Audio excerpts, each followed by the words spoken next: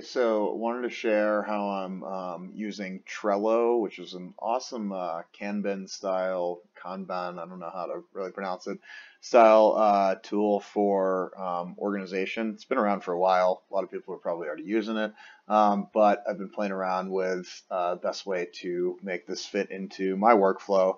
Um, I found that most of the CRM tools um, that are designed for photographers are really good at doing their specific photography things, but a lot of times they're bad at just overall workflow.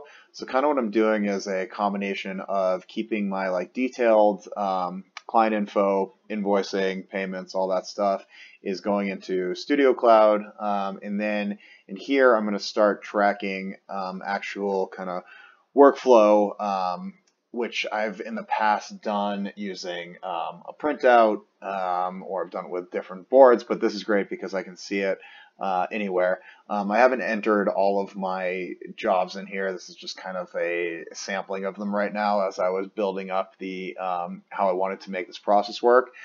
Um, but so what I'm doing is, so I'm calling this my session workflow tracking here, and what I've done is created a, um, you know, all these lists are adjustable. If you haven't seen, just drag and drop. Uh, if you haven't seen Trello before, um, and this is a horizontally scrolling list.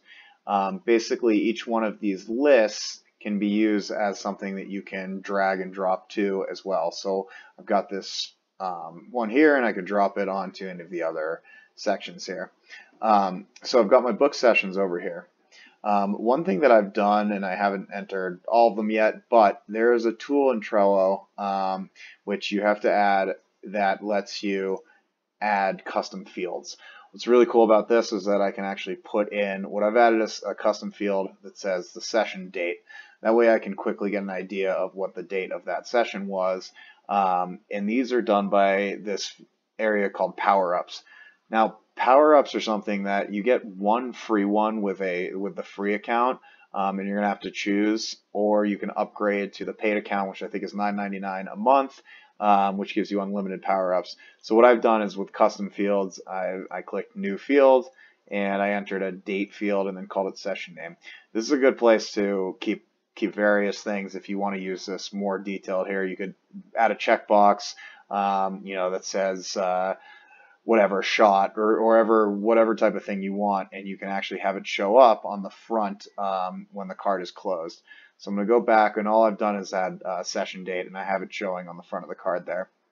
Um, so let me just quickly show you the way you add power-ups. If you go into the menu, click power-ups, um, from here you can search for the custom fields. It's going to be this one here, and then you can add this, and this allows you to make those custom fields. Um, I may end up going into just starting paying for this because there's a lot of really cool things you can do, a lot of automations, um, but right now I'm keeping it pretty simple here. Uh, so let's say you have a new job. All you got to do is add a card, and you type in the job, say Jesse Starr, um, and what I'm going to do is there's a couple ways you could do it. You could put in, you know, the type of event it is. So let's say it's a wedding. Um, but the other way you can do this, oops, I actually clicked out of it uh, before, so you got to hit enter. Um, if you click on it, you can actually create labels. So what I've done is create labels for the different types of sessions that I do most often, family, photo booth, commercial advertising, wedding, and headshot. Um, so let's say it's a wedding. So now we can quickly see that that's a wedding based on its um, color code here. Or you can type it in. It really is up to you. Uh, and again, if I did, if I click on that and if I add a session date, I can actually use the little calendar dropper here, save that, and then it's going to show the session date there. So I've got that, and let's say that um, I've just finish the shoot. So I don't do anything but until I've actually taken the shoot. Um, I'm just adding, done the shoot. So I'm just adding them here until my first step, bring them into ingest. So this means that I've shot it and I am actively ingesting it. Um, so what I do is, is, and really you can skip these, which is nice about this is that it's not a step-by-step -step workflow because uh, for instance, my if it's not a photo booth, it's not going to go to the transfer to photo booth gallery. So let's say I've finished ingesting. I know that next thing I need to do is start culling it. So I can bring it over into my culling section here. Um, so I have cull and then process. So that's what I'm actively doing. So so culling for me means going through and picking out um, all the photos that are going to be selects and that I'm going to work on. Process is they are actively being processed or sent out for um, you know, sometimes I have to uh, have my post production done by um, a third party company or uh, someone else, so that it'll be sitting, living in process. Present, that is my stage where I am either having a design consultation um, with the client or some if it's a commercial job, a lot of times that means that it is going to be uh, a gallery um, where an online gallery that I'm going to go over with them uh, for selects. Um, then it's getting into retouching. So right now I finished this headshot uh, earlier today. I have um, ingested it, called it, processed it, and um, right now it is being. Some of the shots are I'm working on retouching. Some of them are um, out for retouching. So I can leave that there while I'm finishing retouching. Once it comes back from retouching, that's when I'm going to order product. So I'm going to keep this in the ordering product section until I have gotten all of the products um, products uh, ordered and um, on their way back to me. One thing that is uh, you know cool to that you can use this a lot more advanced is that if we click on so click on the card here, we can actually create a list within it.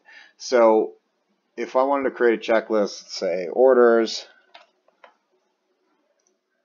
I can now say, say we need to order an album, we need to order some gift prints, um, and, you know, whatever, a large canvas collection.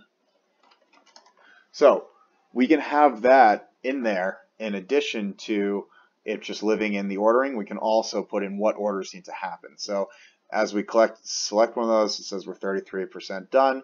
So you can actually see where you're at in that. And this shows that there is a checklist. If you look in close here, that there's one of three are actually um, have been checked off right now. So you've got more to do. So once every all everything's been ordered and uh, the products are back to me, next thing that's going to need to happen is deliver. Uh, that's going to be obviously sending out the products or having people pick them up or uploading to a gallery, whatever that might be. I tried to get this as simple as possible because if you have too many, you're not going to use it.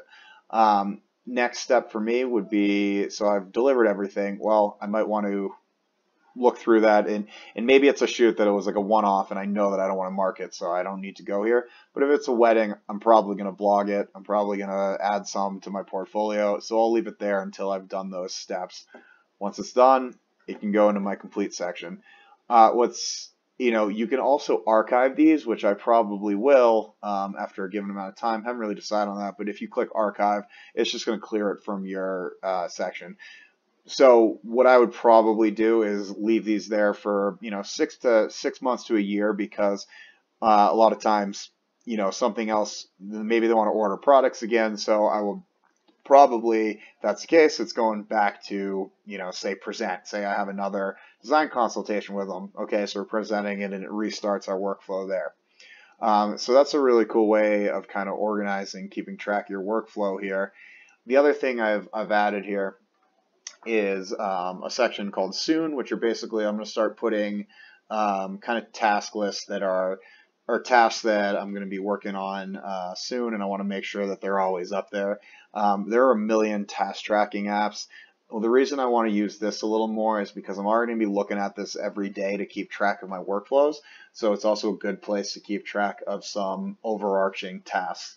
Uh, again, the today working on, what I might do is sometimes I'll add in like, say I've got a project I'm working on that maybe doesn't fit into the regular workflow. Um, but I want to know, you know, that's something I need to work on today. And so I'm going to put it, load it up in there and add whatever I need there. So um, this is a little overview of kind of what I found to be a good way to use uh, Trello for uh, your workflow tracking. Let me know if you have any questions in the comments and hope it uh, gives you some help and get a hold of your workflow there.